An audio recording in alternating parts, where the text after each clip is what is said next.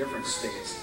And uh, we were blessed joyously in the 8 o'clock service this morning as they ministered. They have uh, kindly consented to minister in both services this morning, and they're back to minister to us this morning. I'd like for you to welcome, if you would, this morning, Heartsong as they come.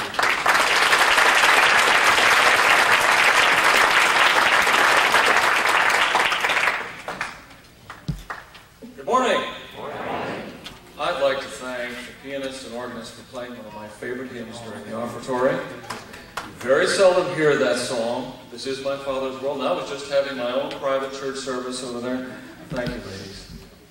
What a privilege to worship the Lord this morning. Let's celebrate Jesus together.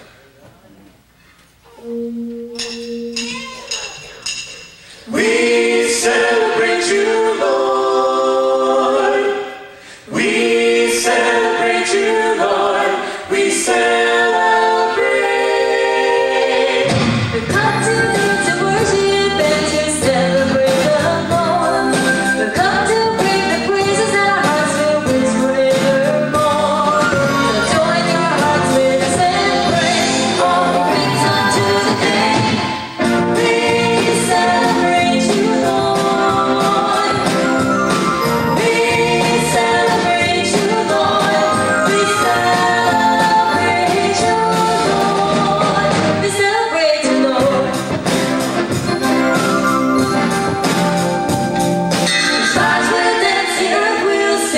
Trees will clap their hands.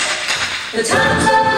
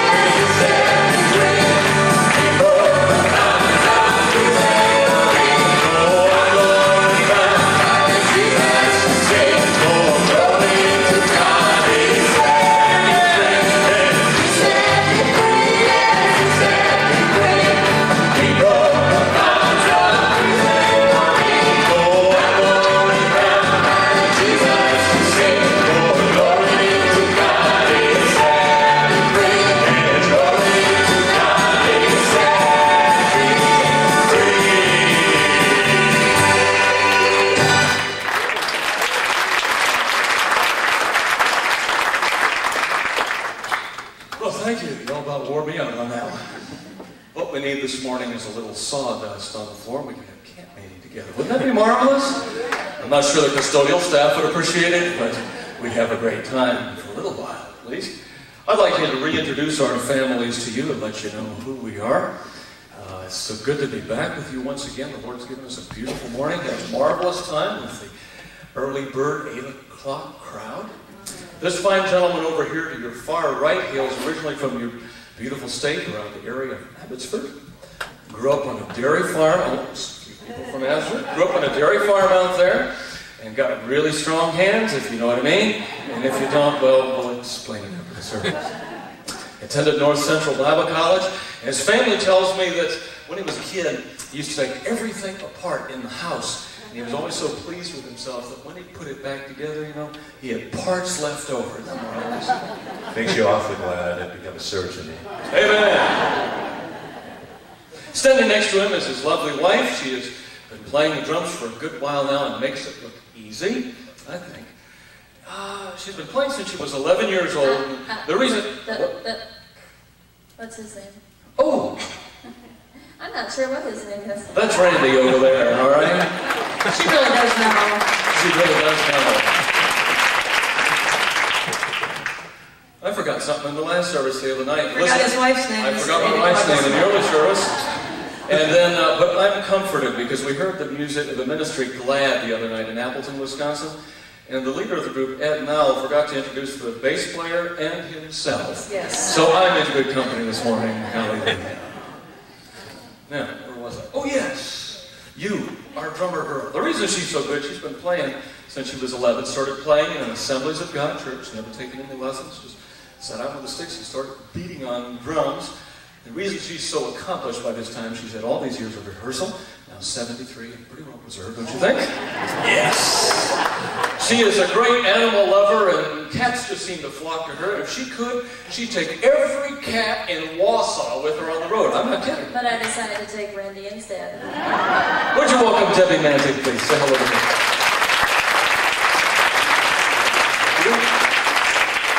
These two ladies are sisters, and they are now in their ninth year traveling full time on the road in gospel music.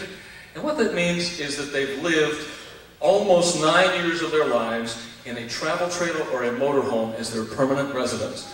Our houses are now parked at the Assembly of God Church in Merrill, correct? You get it? And it just looks like a gypsy camp sitting out there.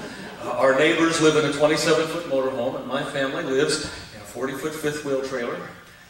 It's neat because we always have the same neighbors, so at least that doesn't change. The Lord must have had a sense of humor because I proposed marriage to this sweet young lady about 11 years ago in a church parking lot. And so God was just getting me ready for what was ahead. But what, what makes the story even better was that the day before he proposed to me, we went to Mount Mitchell, which is the highest peak in the eastern half of the United States.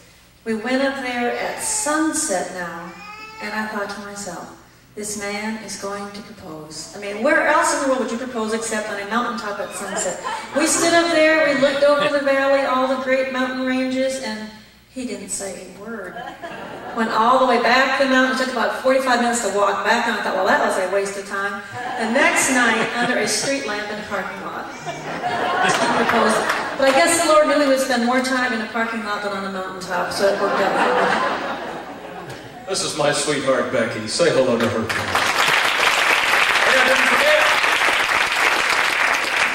Thank you. I'm the only member of Heartsong that is not from Wisconsin. Hope you'll overlook that this morning. But I've dragged these three fine Wisconsinites to the North Carolina District of the Assemblies of God, and bless their hearts, they still don't talk right. But something like you're from Wisconsin is a pretty good thing, I think. I was born in Louisiana. I was reared in a military family. Hey, Louisiana! Let's, let's hear it for the mosquitoes, right, brother? All right. Um, and so I've lived as far west as Hawaii, lived as far east as Denmark and Eastern Europe. Parents are from Pennsylvania, I'm from all over the place. But since 75, I've called North Carolina home, and my real name is Steve Smith, honest. You can welcome me now.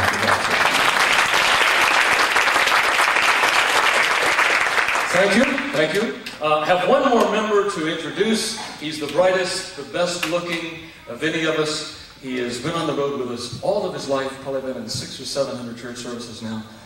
And uh, he is ministering in another part of the building, but this kid is the best looking child in North America. And this is what he looks like. This is my son Nathan, and as any Papa does, I have a wallet size photo of him. I know you want to meet him the service. Let, let me tell you, this kid can do nursery now, and your nursery has rated rather well because it closed out with the fanfare of handing out chocolate chip cookies. He was very much pleased. So you all are really high on the, on the nursery list. We'd like to do an original number that my sweetheart has written. It's entitled Rain of the Refreshing. For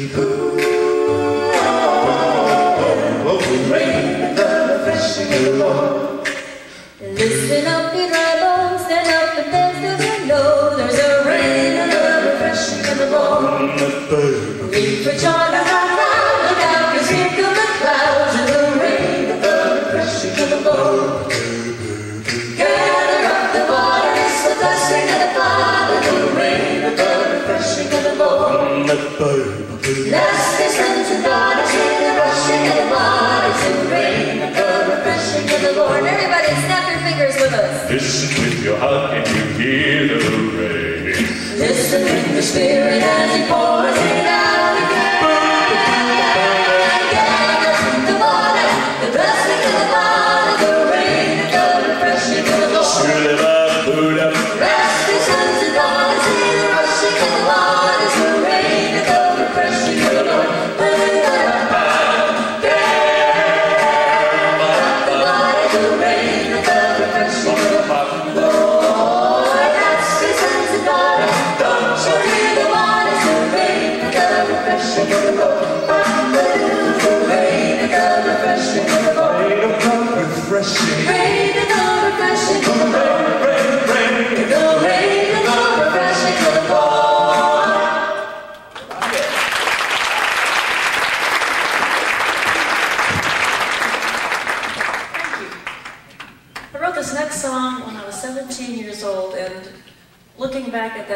from being 30, I just turned 30 this year, and that's a terrible age to be. Is anybody else 30 that will admit it?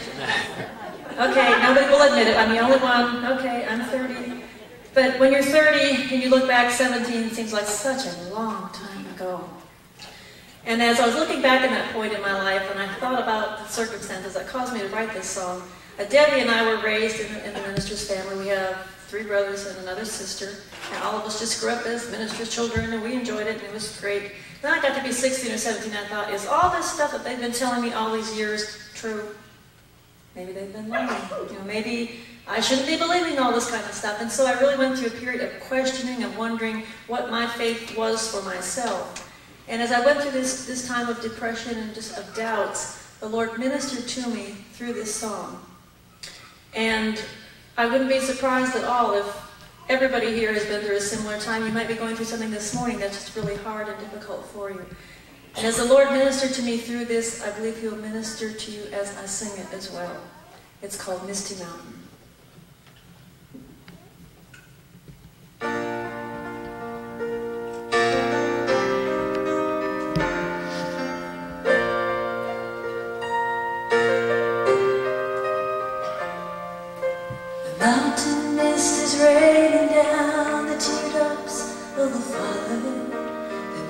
Music of the morning plays a sad and sweet rain song. The hills have reached to heaven here, the cry of their creator. The maker and the mountains weep until the day is gone.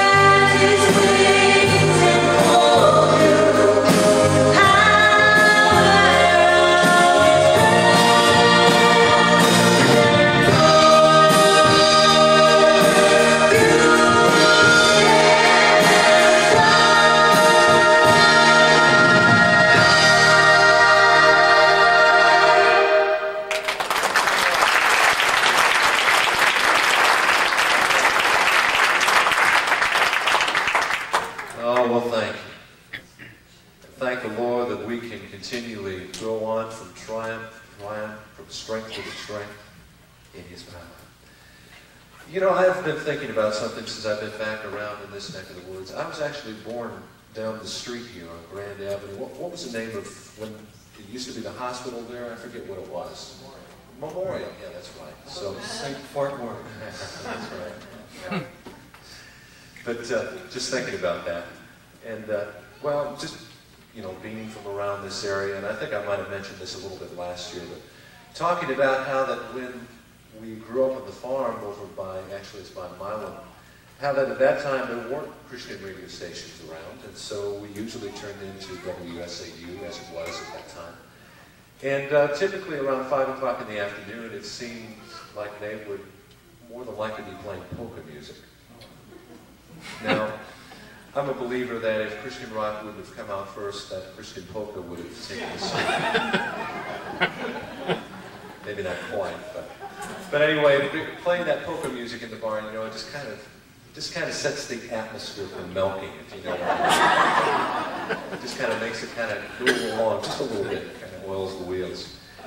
Well, in this next song that we're going to do, there is just a little bit of a like a waltz type polka that I think you'll recognize. It's called Springs of Living Water.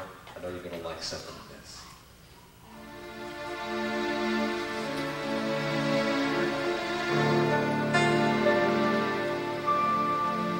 I thirsted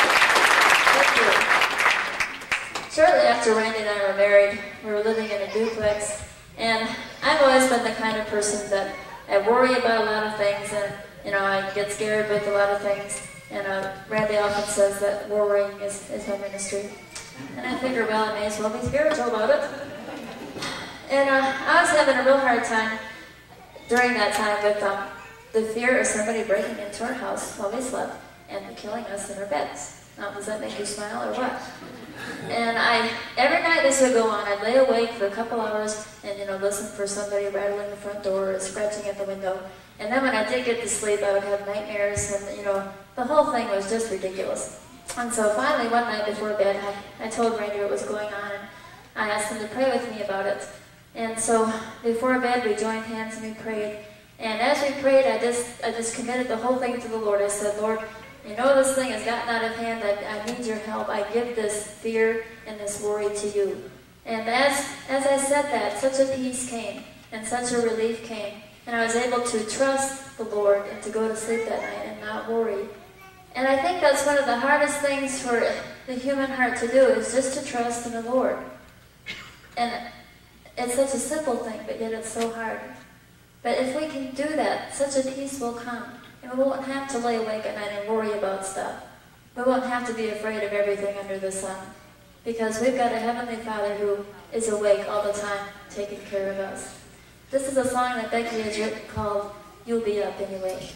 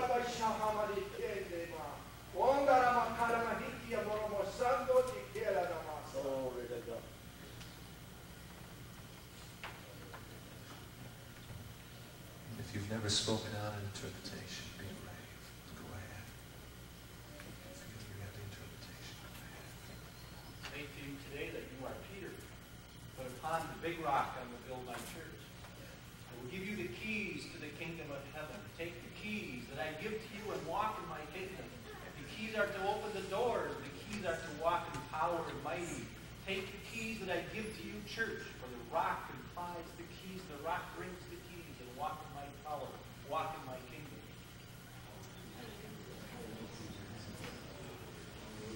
Oh, let's thank and praise Him for that. Thank you, Lord,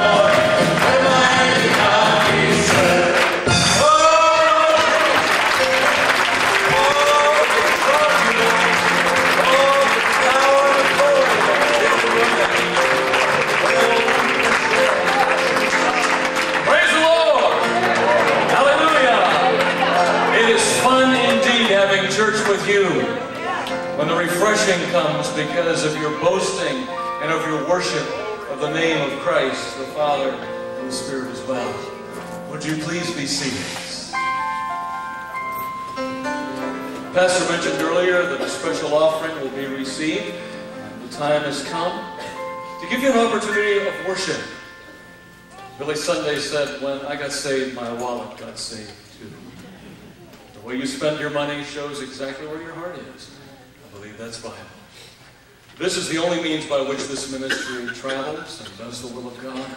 It's because of generous and gracious people such as yourselves that enable us to keep going.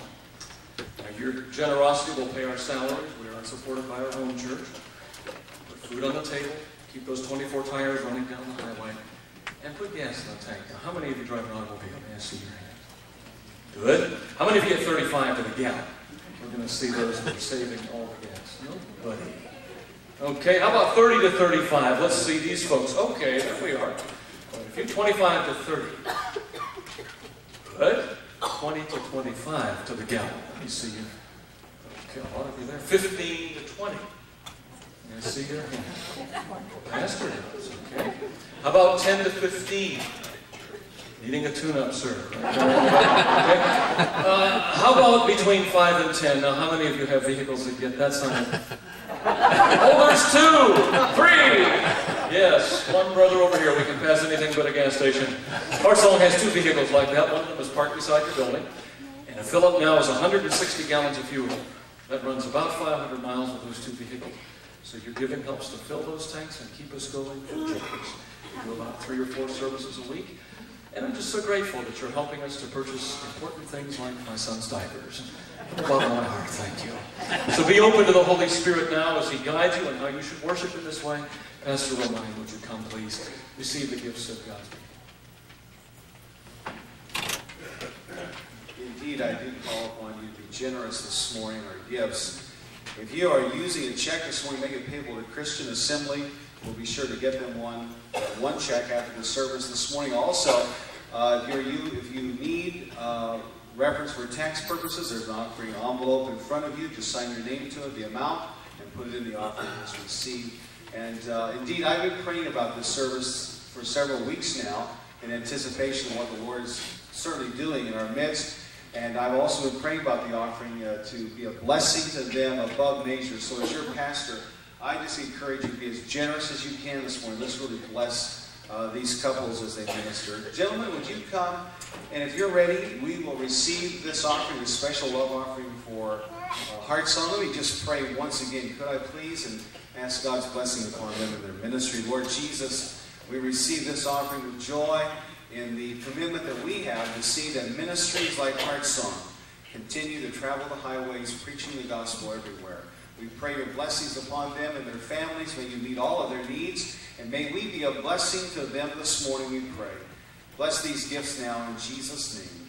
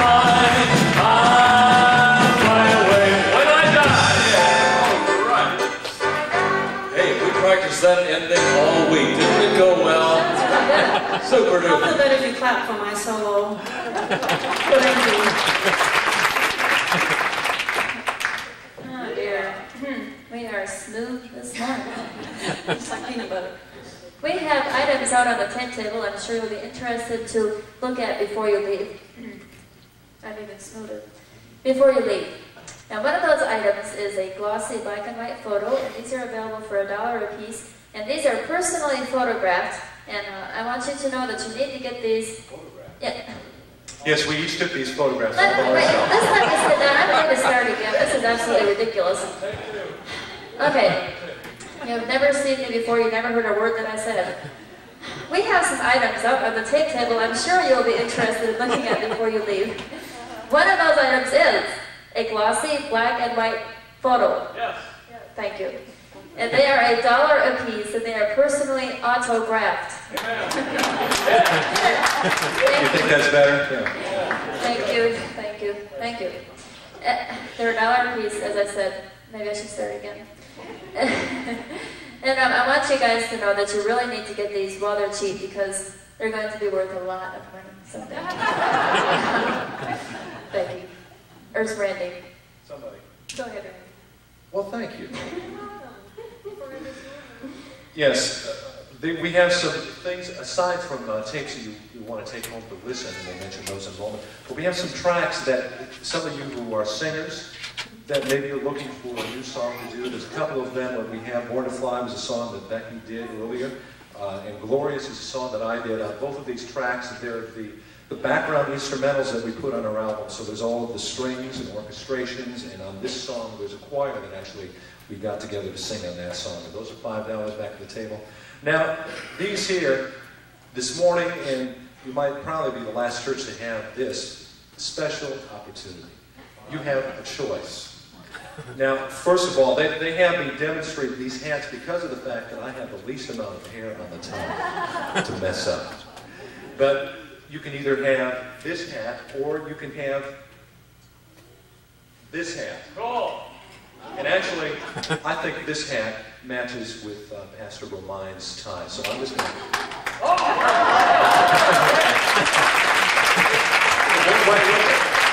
so anyway, those are four dollars back at the table. Thank you.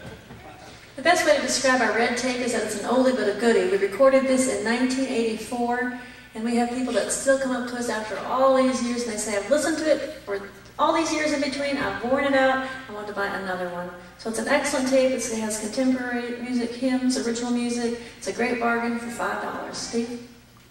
We have a new recording since we were with you last. The title track is Rain of the Refreshing. We sung that number this morning along with Celebrate, Misty Mountain, Glorious, You'll Be Up Anyway, and Born to Fly. All of those are on our latest cassette. If you enjoyed Springs of Living Water, one with all the crazy different kinds of music, including the polka waltz, then you're going to want to check out our purple cassette, some other great material on that one as well. If you prefer more traditional Christian music, uh, such as In the Garden, this blue cassette does not have drums and bass, but it is a collection of psalms and hymns. I know you would really enjoy it. Our current cassettes are $9 per unit. You can get two of them for 15, all three of them for 18 bucks. That's not a good enough deal, we've got the package for you. And that's our three current cassettes, a hat, and a picture, all for 500 bucks. And the line starts to the left out there in the vestibule. I know you're going to want to race right out there. Just because we love you folks in Wausau so much, we're going to mark the thing down to 20 bucks this morning. And we so appreciate your help at the table. Helps us to record again, the Lord willing, in December. You're also supporting the ministry of Teen Challenge. We support three centers around the United States that are ministering to young men and women. And right now, I'd like you to take out your Bibles, look at the sixth chapter the Old Testament prophet Micah.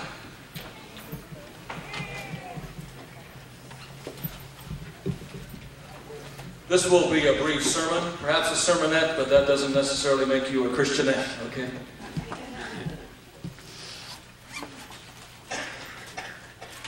There was a surprise golden wedding anniversary party thrown for this elderly couple. And all of their friends and family were gathered, and there was a great deal of excitement and gifts and a huge cake. And so when the man had gathered all of his friends and kin together, he wanted to honor his lovely wife of 50 years. Now it turns out that by this time in her life she was hard of hearing and often misunderstood what he said. And he drew her under to his side and put his arm around her and said, Darling, in front of all of these people. He said, After 50 years, I found you to be always tried and true. She said, What? And he said it louder. He said, Darling, after 50 years, I found you to be tried and true. She went, "Humph. After 50 years, I'm tired of you too.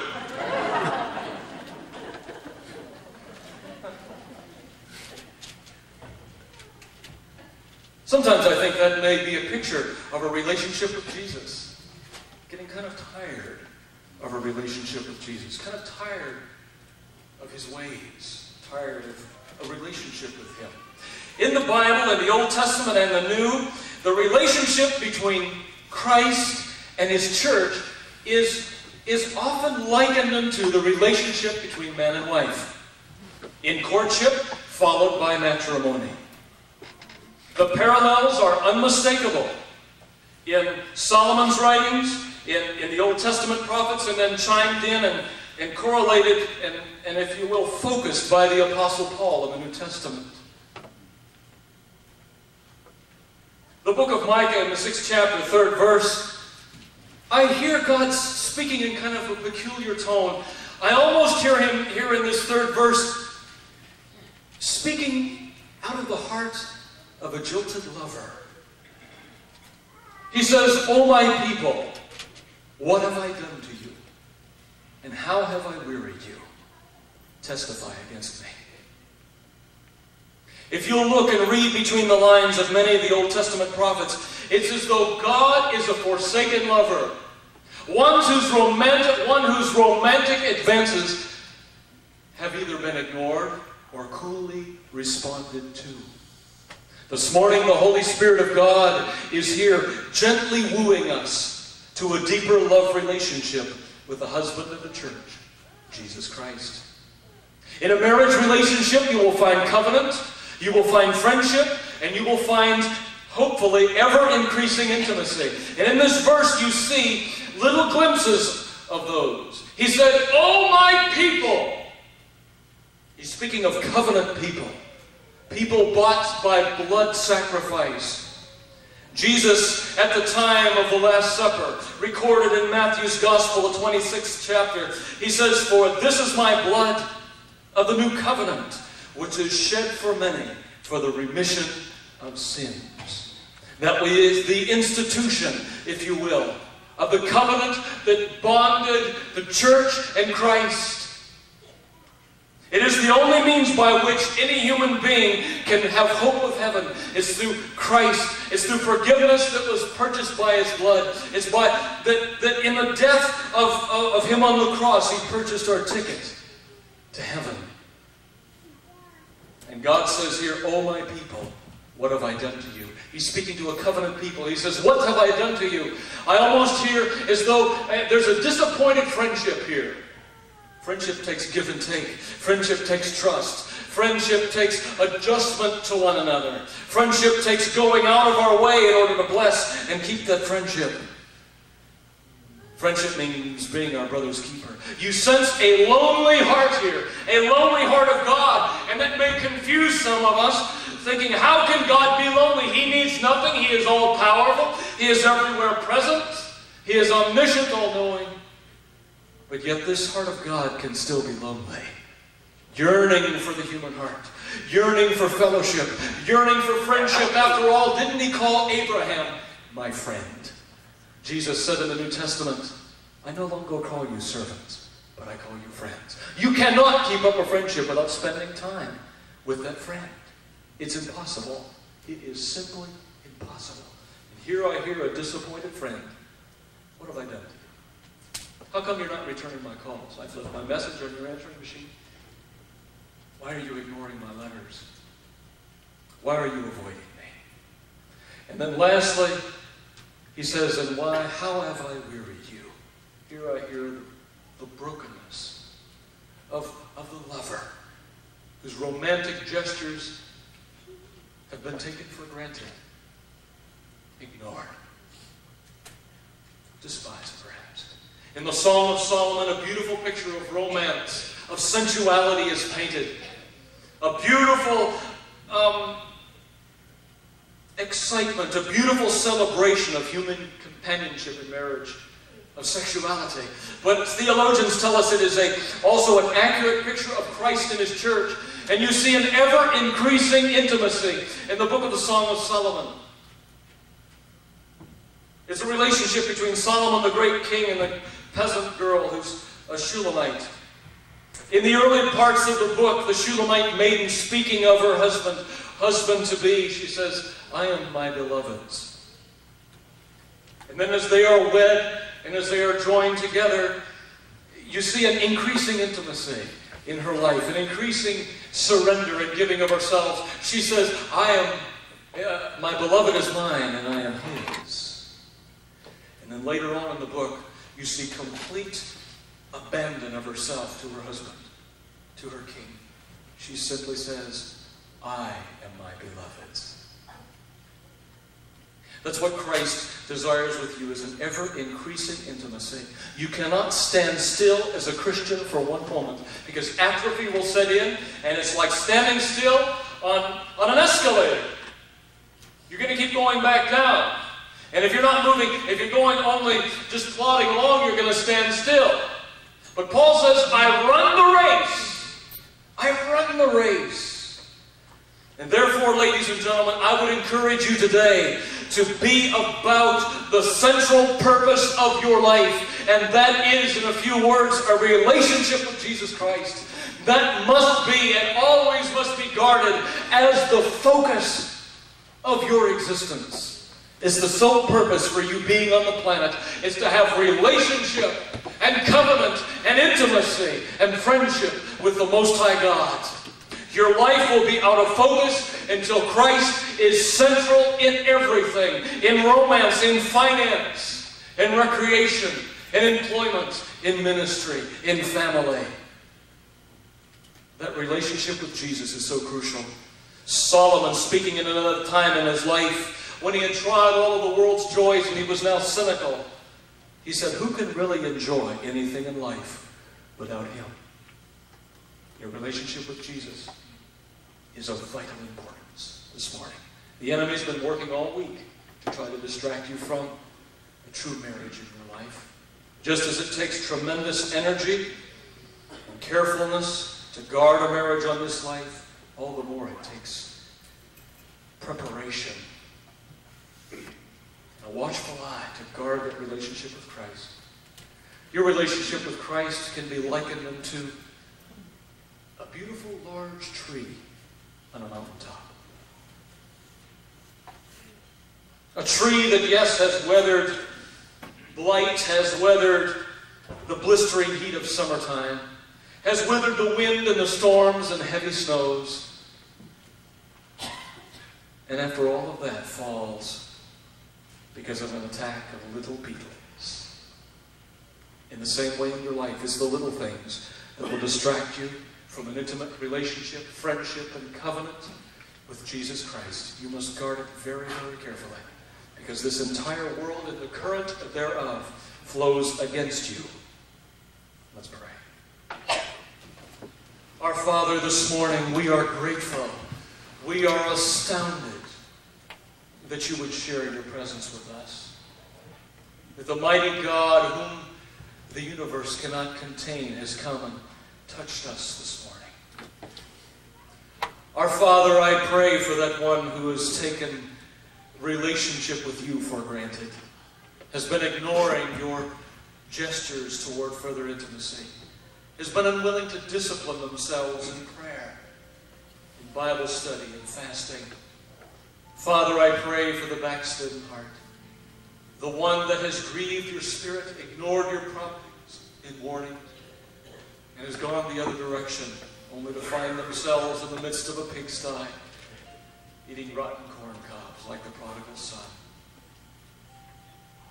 Precious Spirit, would you move now upon visitors that may be with us this morning, the merely religious, those who are Christian in name only, having a form of godliness but denying its true power. I pray for those who really do not know Christ in an intimate way, do not really have the assurance of forgiveness or of heaven in the next life. I pray for the discouraged this morning, for the lonely. Lord, may they reach out to their true husband and lover and receive a sweet and gentle, all encompassing embrace from you this morning. Saints, would you search your heart? Take stock for the next few moments about this relationship with Jesus as we sing this beautiful chorus. Each one of us shedding ourselves in love to thee,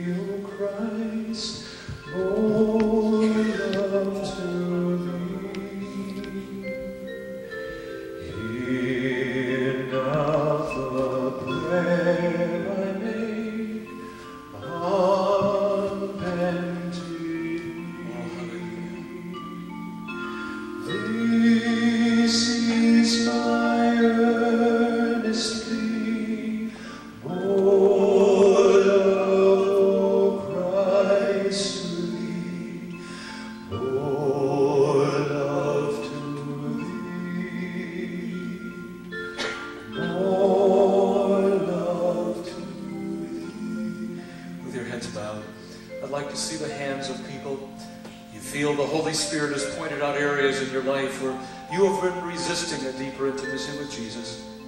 Things that may be hindering your relationship and covenant with Him.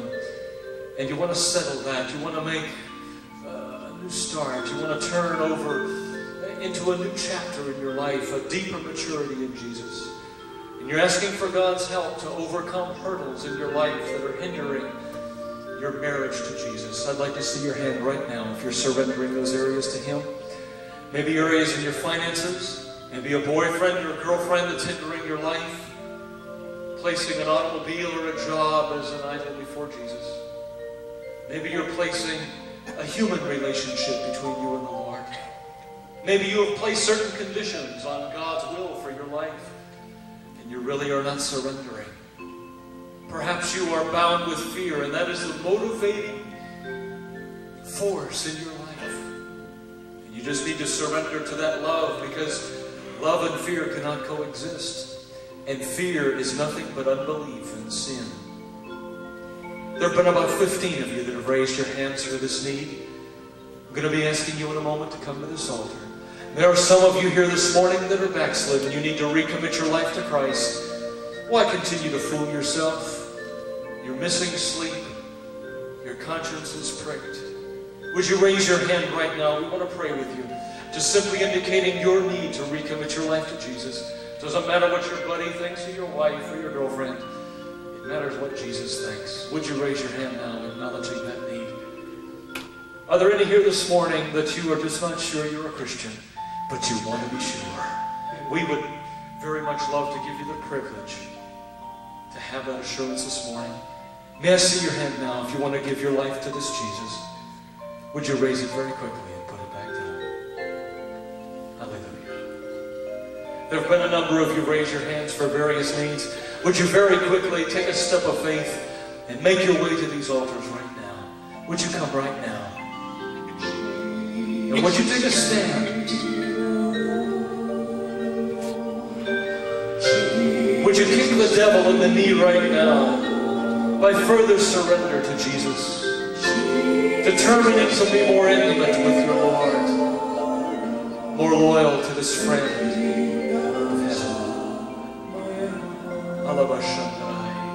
If you are sick this morning, if you have a need in your body and would like the elders to pray, there is a need in your family other than what was, what was addressed, we would like to invite you to come at this time. And I wonder, gentlemen, why there's all women at the altar. Can I assume that all of you gentlemen are on completely right terms with God? I challenge you right now. Pastor, would you join me in praying for these special ones? There may be marriages here this morning. The reason for the struggle in your marriage is because neither of you is truly growing in intimacy with Christ. I invite you to recommit your marriage to intimacy with Jesus. Let's pray together. Let's turn this into a prayer meeting for the next few moments.